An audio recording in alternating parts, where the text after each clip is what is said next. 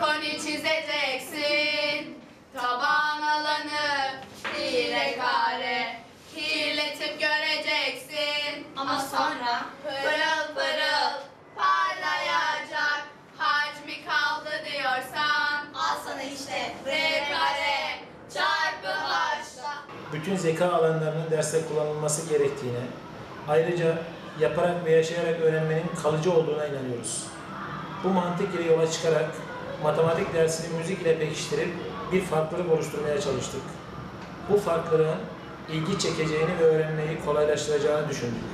Matematikte yaptığımız bu farklılığın öğrenme üzerine pozitif bir etki yaptığını gözlemledik.